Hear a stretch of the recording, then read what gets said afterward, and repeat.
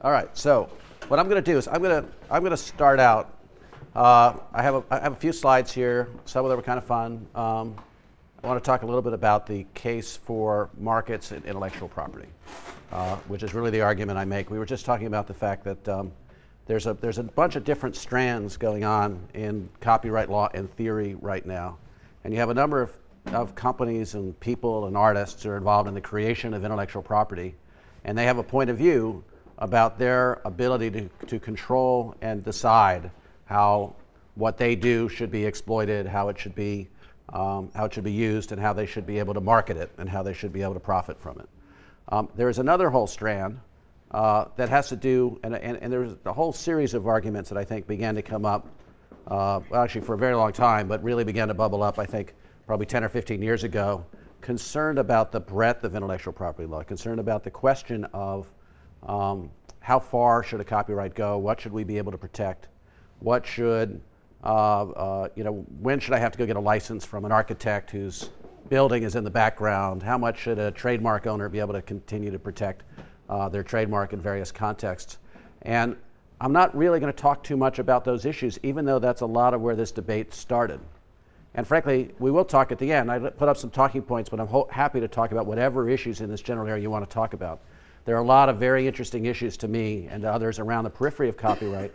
And I think people are going to be surprised to find out that even as part of a big company, uh, and as a consumer, and as a guy who loves technology and loves gadgets and all the interesting things that are happening on the internet, um, I kind of agree with. I actually care a lot about fair use. I care a lot about having the breadth to create our stuff and to, to sell it uh, without having to get undue licenses, without having to get permissions. Um, we care a lot about those issues, and we are probably not as much in disagreement with some of the people who uh, you know, consider themselves innovators, and we'll talk a little about what I mean by innovation.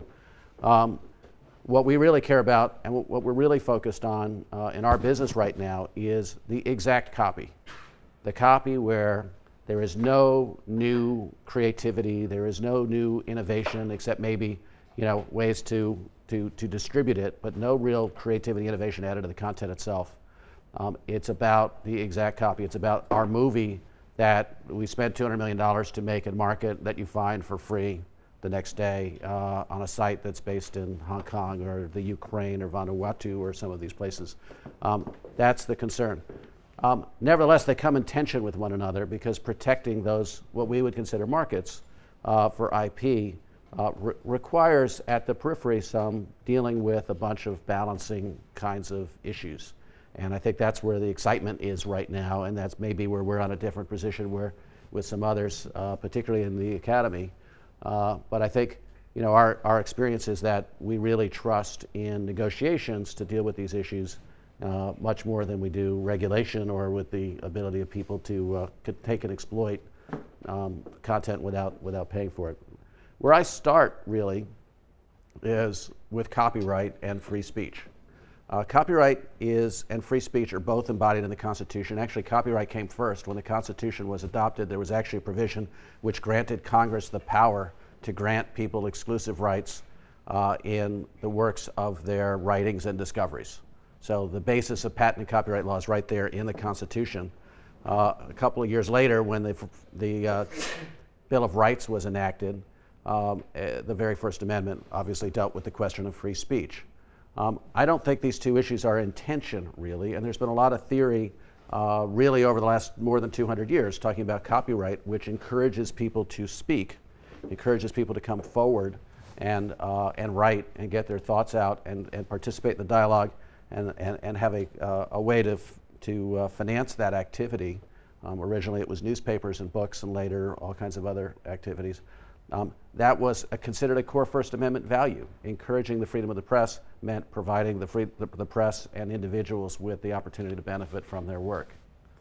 Um, and that's really the point here. Copyright industries, just to give you an idea of the size of the business that we're talking about, um, in the most recent numbers, which were uh, 2008 figures, were $889 billion business. That's the media and software it's games, it's, um, it's music, uh, it's all kinds of businesses that depend on copyright. We're not even talking about the patent business now, we're talking about the copyright business. Uh, is 6.4% of the country's gross domestic product.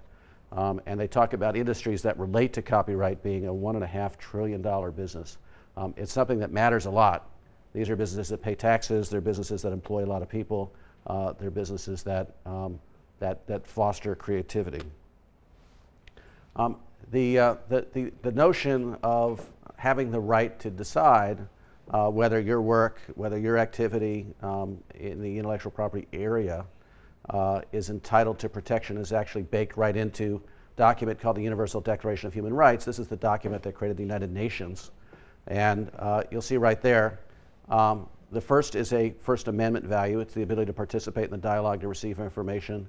Um, and the second is the right to, uh, that you have a moral fundamental right to protect uh, anything, scientific, literary, artistic productions of which you are the author. Again, right there. Um, if you make it, if you write it, if you create it, if you invent it, uh, you're entitled to profit from it. Somebody shouldn't be allowed to take it from you. Copyright drives the sale of a lot of these interests. Nobody ever watched, nobody ever bought an iPod to look at it. Well, maybe a few people. Uh, people buy iPods because there's interesting software that runs on it, there's music that plays on it. Uh, the Kindle is to see books, it's not about the Kindle. Um, copyright drives innovation in all these consumer product markets. Uh, people are using them because they love the stuff that they can participate in with them. Um, these, uh, it, it's an industry that actually, uh, when we talk about innovation, and I'll talk a little about some ways in which our industry and our company partic in particular participate in innovative new businesses and online businesses. But uh, when you talk about innovation, some people try to take that debate and refer to businesses that rely on, uh, on, on, um, on unlicensed IP and say, hey, you know, this is the kind of thing that's innovative and this is the kind of thing that having to license IP would prevent. And I would say that a more sustainable kind of innovation really is about the kind of innovation that you get when, if you make an investment, you get an opportunity to get a return. And so the entertainment business uh, the movie business, the ability to invest in movies and get a rate of return, develops things like uh, digital, um, digital mo motion picture screens, three dimensions, new cameras, uh, a host of all kinds of things in the movie business and the television business. Again, there have been huge amounts of innovation. Those are all funded by the view that somebody's going to engage in big coordinated activity, invest a lot of money in big labs, um, and design and invent things that they're going to get a rate of return on. They're going to get a rate of return on because they're useful in a movie business that's vibrant, in a programming business that's vibrant. Um, again, some just uh, some interesting statistics about the size of the business and the importance to the economy. Um, the next slide, I think, is obvious to everybody living in this age. Uh, piracy is a problem, right? We have new networks. It's easy to move content around. It's a lot easier than it used to be. Uh, you know, when I was um, starting out copying VHS cassettes, if any remember what those are, uh, you know, you could copy a movie, it would take a day uh, or at least a few hours, and, uh, and you could pass them around to your friends. It wasn't such a big problem. Now, uh, you know, things like RapidShare, Mega Upload, other things can make a copy of a movie available to millions of people uh, more or less in an instant. Broadband connectivity is, is high. Uh, it's certainly going to go higher. Uh, the speed of what constitutes broadband is growing very quickly. Um, and lots and lots of consumer devices are taking advantage of new capabilities, cheaper storage, in order to make uh, copies and uh, in order to facilitate new ways to use content. Um, so as a result, uh, there, is a, there is a huge increase in uh, the ability of people to engage in unlicensed content distribution. Um, I do like to, to, to, point out that Viacom is an innovator. Uh, I didn't really talk about at the beginning about what Viacom is.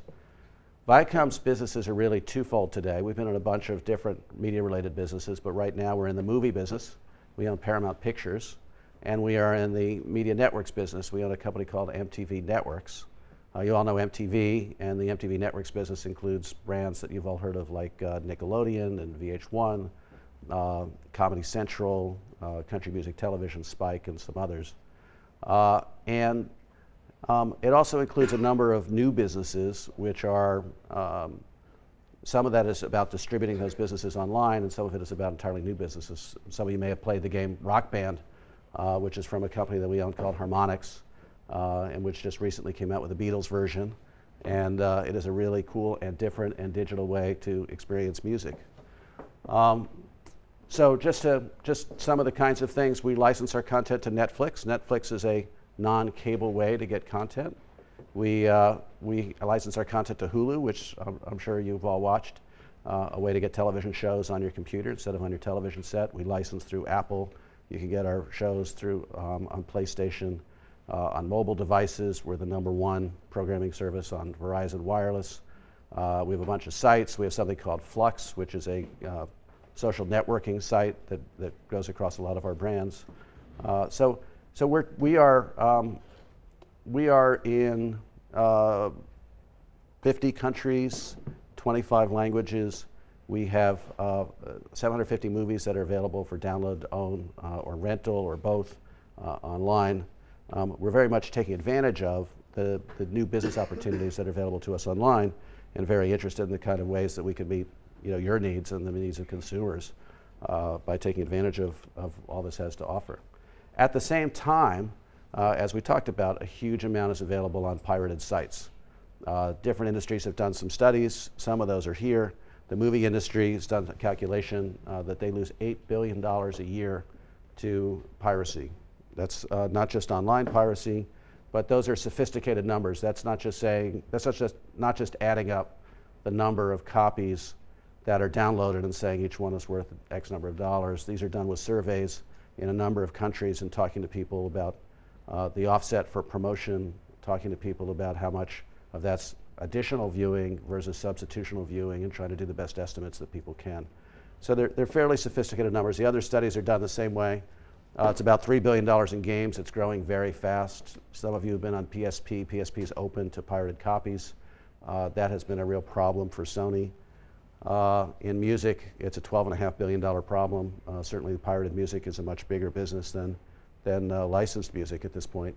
Um, and there's a lot of cost shifting going on in that business. Big companies like ours end up paying a lot of money for music rights uh, because that's what's subsidizing, that's what's, that's what's supporting the music business now. So the licensing of music for television shows, the licensing of music for cable and the like is supporting music. And, uh, and software, uh, their estimate is over $5 billion lost. Um, just to give you, I, I, just did a couple slides to show you how easy it is to pirate. Um, I would be surprised if uh, all of you hadn't seen some of these or all of them. But uh, on YouTube, for example, uh, we recently just did this screenshot. You can see a movie that's a, uh, a reasonably expensive picture and recently in the stores, um, or, or I guess in this case, not so recently, Bowling for Columbine. Uh, you can see, even though YouTube has a 10 minute limit, uh, somebody just put up uh, the entire movie in, in 12 parts. Uh, we've seen actually full length movies in a single part available on YouTube and other user generated content sites. Um, you can see from this that uh, MarketWire is, is, uh, is, is paying money for an advertisement against uh, an unlicensed clip. as well, somebody's putting a clip down here, it looks like iTunes at the bottom of the page. Uh, and so that unlicensed clip is generating revenue, but not any revenue for the people who produced the material. Uh, it, Chinese ad there for any of you who read Chinese. Uh, but you can see uh, that some of the sites are, are, are, difficult to find in jurisdictions where enforcement is very hard. Uh, here you see uh, an episode of South Park available on To Um, and even legitimate companies are getting in on the act. Real DVD came out with a product last year. It's been subsequently enjoined by a court in California. Uh, but Real DVD said, you know, we'll, we'll break the encryption on a DVD and allow you to copy it to your hard drive, which is a feature I'd love.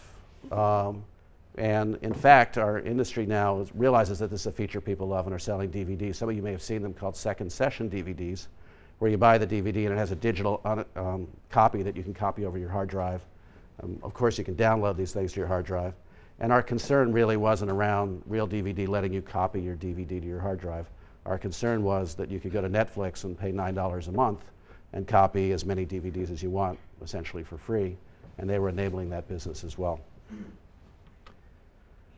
So, what's happening to piracy and why are we so concerned? It's moving from P2P to streaming. Uh, many of you have experience with P2P. P2P is slow, especially with movies. It can take you a few days. Uh, there's a longer version of this presentation that shows how it works. I don't need to do that. But what you do see is that it's now moving to a streaming environment because as a consumer, that's a much better way to watch a movie. If you can find it on an online site where you can just stream it to your computer, uh, you can watch it right away and you don't have to wait for the thing to download.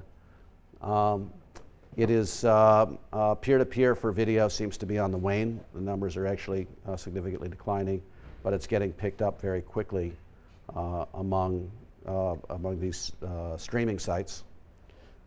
A lot of people are starting to use video sharing sites now. You know, some of that's a lot of that's legitimate. A lot of that's UGC. Not not all 19% is pirated, but the pirate percentages are very high. Um, and the other thing that's very concerning and is that lots of TVs are being connected to the internet. Now I say concerning, it's a great opportunity. TVs connected to the internet are something that we're working with. Uh, Hulu on the internet, some of the download to own services and the like are going to be great things. Uh, but it's also an opportunity for piracy to become more of a mainstream activity. Show you just a couple of the businesses that are built on this. RapidShare, uh, RapidShare has a business model that's very interesting. Uh, you upload content to RapidShare and make it available to your friends, and the more people who come to watch your content, the more money they'll pay you or they'll give you gifts. Uh, so they're paying for that viewership. Uh, the way they make their business model is charging both subscriptions and selling ads. Uh, and you just do the little business model. It's not a bad little business. This is not a guy in his garage. You know, it's not an end user who's, who's, who's making a mistake. But we figure anywhere from 15 to 200 million dollars, 175 million dollars of profit a year, uh, because it's very handy to be able to have a media business when you don't have to pay for the content. The sites are looking better. Uh, this looks like a real site. It some people, um, a meaningful number of people would come across the site and not realize that it was a pirated site. Uh, you can see they're very proud of the fact that they have 10,000 movies of premium quality. Um, so uh, it was just a, a, sample. If you, if you scour around, use the search engines, you can find an awful lot. Um, why does it matter? Um, and should we be doing anything about it?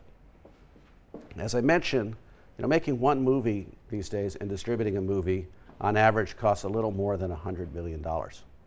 Uh, some pictures cost more than $200, 250 million dollars, and there's a market for big budget motion pictures. Not all, not all content is going to be big motion pictures, and there's lots of new stuff that costs less, lots of new things that become available. But consumers like big budget motion pictures. They like high production value television.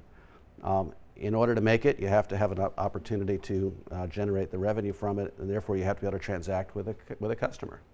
And piracy undermines that. It keeps the communication from customers to providers from happening. It keeps things that people would like to see from uh, being things that they can see because the money chain from users to producers uh, begins to disappear. Um, it harms the consumer experience. Uh, a lot of money is spent on trying to, and a lot of time and effort and creativity is spent on trying to create an experience when you're in the theater watching a television set that grabs you, draws you into the story, that makes you really love the characters or loves the show. Sometimes it works. Um, but when a consumer begins to experience the content of the show in a bad way, uh, that can hurt your brand. Um, we talked about the economic numbers, and beyond that, uh, you know, and I think a lot of people have seen, particularly in the music space, that when people begin to think of things as free, they don't value them in the same sort of way. They begin to think it's a free kind of thing and it's, it's not a thing that is of value and over the long run. That may be uh, the biggest issue at all. There is something you can do about it. Um, I'll give you one example. In the user generated content space, we've been working with companies that are doing things called filtering. Uh, two or three years ago, uh, it was a little harder to do. Some of these things have existed for, um, for a long time. Uh, interesting, the technology really began to develop uh, for different reasons than content matching. Um, in the case of one of the technologies we used, for example, uh, the intent was were, it was an automatic way to tell if somebody's commercial was running on, uh, on a radio station or a television station, and they were using that as a way to just report back to advertisers that they got what they paid for. Uh, some of them work better than others. Some of them are audio only. Some of them are video, and they are able to match the video file. Um, but what they do is they give you an automatic way to tell whether the content is licensed content or not licensed content. Um, and then in some cases, they let you do some different things with them. So for example, YouTube now has a, uh, has a filter built in. Um, it matches on the video file as well as the audio file, so it helps us prevent. We, have been trying very hard to avoid the mashup, as I talked about, or things that involve new creativity. So we make sure that the, cl the clip, um, as best as we can, is really just an exact match of our content. Uh, we, we try to match both on audio and video, or else we have people look at it to make sure that, uh, that it's really not a fair use issue.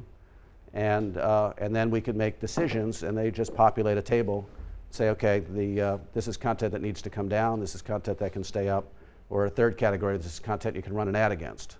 And, uh, and then we'll participate in the ad revenue. And so a lot of content companies are working with that model, and it's an interesting, it's an interesting model. It lets, you, uh, it lets you control your content or make a decision that you're willing to participate in this business opportunity um, and receive some, some reward. Uh, just a, an example of a recent one. Uh, so some of you may have noticed so when, uh, when we ran the MTV Music Video Awards in uh, September, the, there was a clip where Kanye West came up and, and told everybody that uh, who should have won the award. And uh, immediately, lots and lots of clips were posted to, to YouTube and other places. Um, in 2008, we had 21.3 million views of the VMAs on sites that weren't our own. And, and at that time, we weren't licensing any user generated content sites, and only 16.8 to our own. So the sites on the left were making money. They were selling ads, they were generating traffic to other parts of their sites, uh, but paying nothing for the content that we produced. Uh, this year, uh, we still had 19.2 million views that were not us, but this year we had 35.5 million that were us.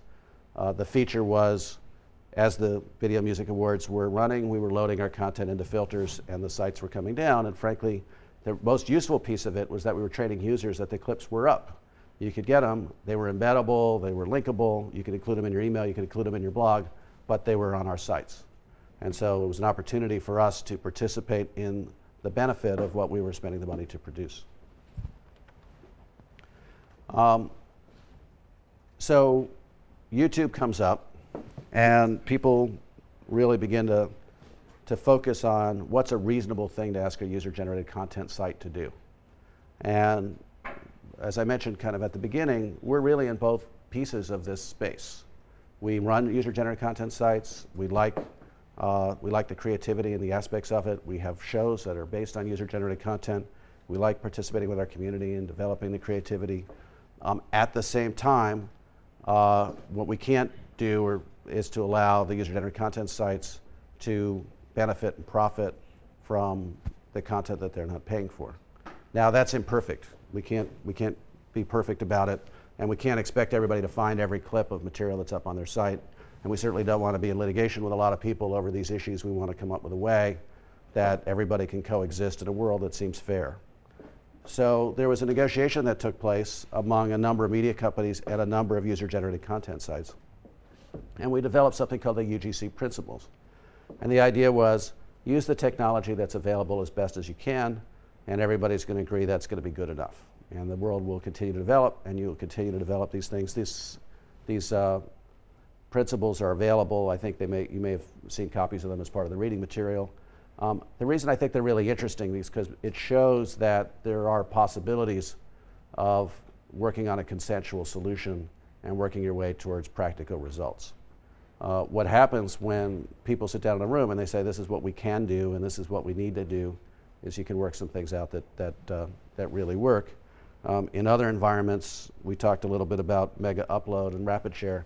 Their real interest is not in coming up with a rational solution. Their interest is in monetizing content, um, and they're unwilling to come to the table and work on, on reasonable solutions.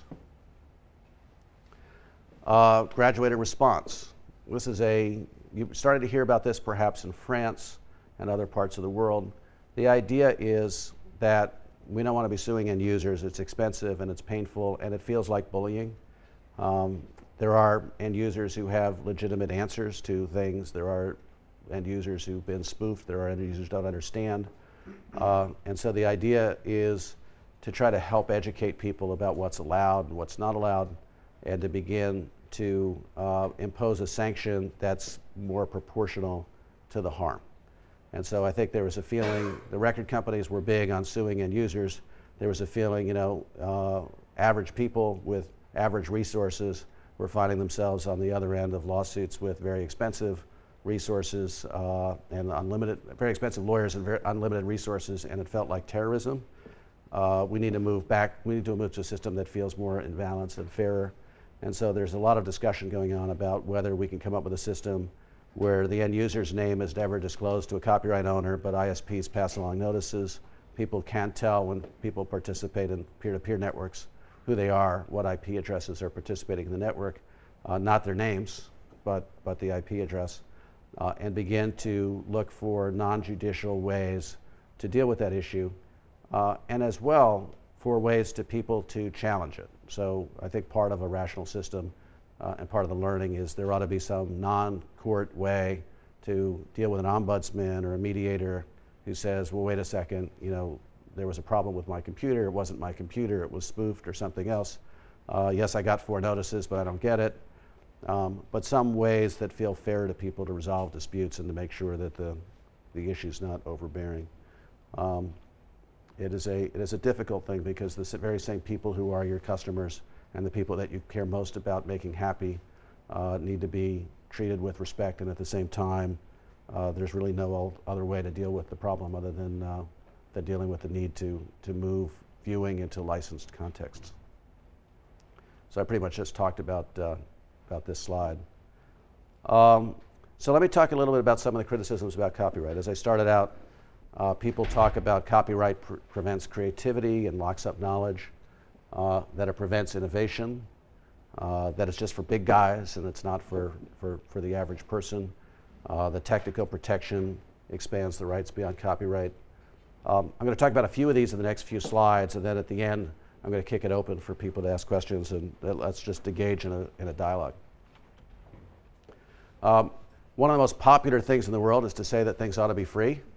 Um, it has sold a lot of books, a lot of copyrighted books. Uh, of high school elections too. Yes, it's true.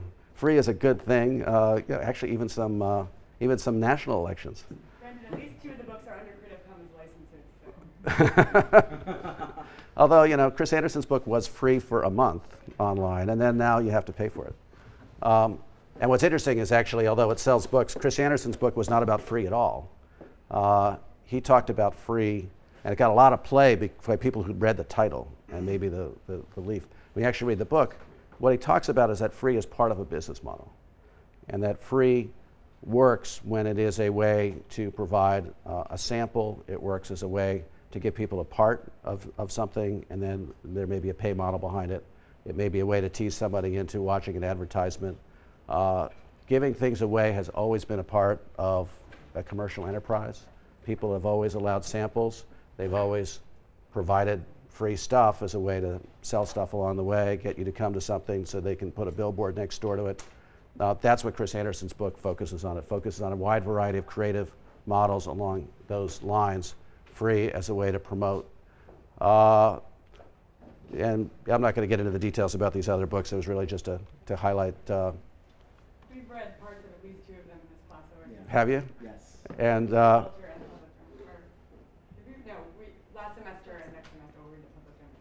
Okay. I mean, James Boyle's argument, that, that's another conversation. We could talk about that later if you want. Uh, it is true, there is absolutely no question that copyright, this is to counter James Boyle's argument, copyright is not necessarily, if you asked a consumer, would they rather pay or would they rather be free? Every one of us says we like free. You know, and it definitely feels like if you want to charge for something, they, people throw out the term it's anti-consumer. And in fact, when you really get into it, it seems to me that what the consumer really wants at the end of the day is the opportunity to deal with as many possible vendors at as many possible price points and many business models as possible. But they want the product to be created in the first place, and they want people to be motivated to create it to serve them and are willing to pay a fair price or watch an ad or whatever it is that ultimately generates that content we use a, you know, there's a, a, the analogy is if you said milk should be free, um, everybody would say that's a great idea. Uh, when all the farmers stopped producing milk, they'd say maybe that wasn't such a good idea. Um, and the same thing really applies uh, with respect to copyright. let me talk a little bit again about the theme about how copyright and the First Amendment and how copyright and, and, and the users really play together. Um, and and these, these issues are really important in the sense of dealing with some of the criticisms. First off, the fair use right uh, or the fair use defense is a key part of copyright. The point is, is that there is a place at which the rights of an owner of copyrighted material need to be limited because now they're infringing on free speech as opposed to adding to free speech. So somebody who writes, and got, you guys have probably talked about this in more detail. I'm going to talk about it now.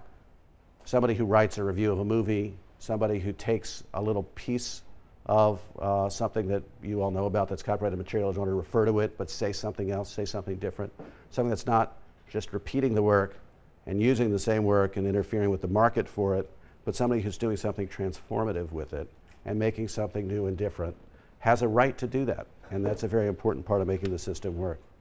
Second, and this is really important as well, is that copyright, unlike patent, and in a lot of places like Boyle's book, among others, where they, you will see people deliberate, who don't like copyright for whatever reason deliberately combine copyright and patent.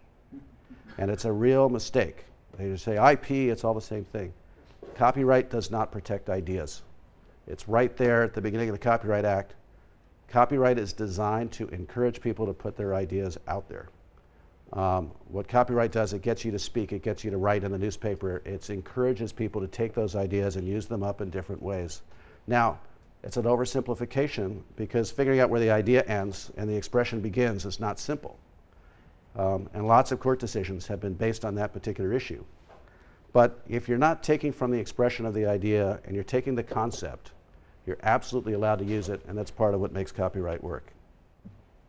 We rely at Viacom on fair use every day. Uh, I am not an exponent that copyright should be huge and should go as far as it could possibly go. So we talked about my issue is about the exact copy. So we have a show, Ta Show, so we may have seen on MTV, uh, where he spends a lot of time talking about user-generated content and what's cool and what's out there. Uh, VH1 uses clips from video uh, and creates the show called Best Week Ever. It relies very heavily on fair use. Um, there's a fun one. We litigated this issue. Uh, Demi Moore, uh, it, this, this is probably before a lot of you guys were born. Uh, maybe not quite. But, but this cover was a very, very famous cover uh, where Demi Moore was pregnant and uh, Vanity Fair ran it on their cover. And so a few years later, we came out with this movie, Naked Gun 33 and a half, with Leslie Nielsen in the same pose. Uh, and we got sued by Annie Leibovitz, who's the photographer, uh, and we won. Um, this is clearly fair use. Nobody, nobody bought that instead of the Demi Moore picture. Uh, Uh, they, they've, they've seen some other similar works. We've, we've shown them a video clip of uh, a very funny video clip. right? We, uh, Sesame Street. Of Sesame the, Street. The count censored where the word count is beeped out, so it sounds like he's saying, I love to beep. Clearly, no parent is going to give that to their kid instead of the actual count. exactly. Well, no responsible parent. Exactly. And it's a good example of fair use. It's also a good example of how, uh, how, we, how we use it. We care about this stuff. And, and the reason why you did this, of course, is because at the time everybody remembered the picture. So it was funny. And if we hadn't used the picture, if we'd come up with some other pose, it would not have made the reference.